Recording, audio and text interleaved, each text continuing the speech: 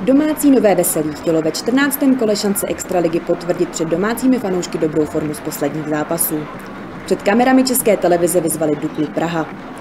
Utkání mělo od začátku velmi dobré tempo. Házená fanoušky v hale bavila a ti hnali svůj tým za každým gólem a soubojem v obraně. Úvodní pětiminutovka byla vyrovnaná.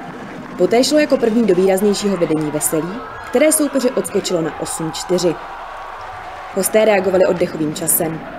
Domácí Sokol však nepolevoval v tempu a zvýšil vedení na 11-5. Dukla dokázala do poločasu ztrátu přece jen korigovat a do šatem se tak šlo za stavu 15-12 pro domácí.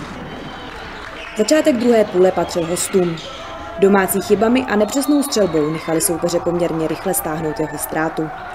V 38. minutě tak bylo srovnáno na 17-17.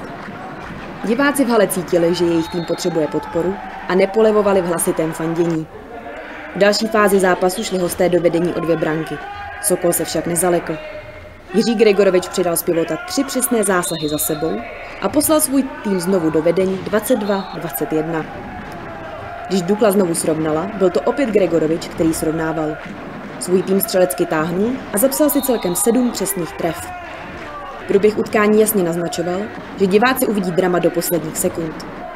Když minutu před koncem zvýšil z levého křídla Jaroslav Honc na 28-26, budá celá veselská ZDT arena radostí. Dukla sice dokázala snížit, domácí však měli výhodu posledního útoku. Přestože byl neúspěšný, vedení už domácí nepustili a slaví tak nad Duklou Praha výhru 28-27. Pro Nové Veselí je to již šestý zápas bez prohry v řadě a do tabulky zapisuje důležité body. Tak dnešní zápas byl napínavý až do konce, nakonec se z toho výhra o jednu branku. Jak jste viděl dnešní zápas? No, povedl se nám vstup do utkání, kde jsme si dokázali vypracovat nějaký poštář.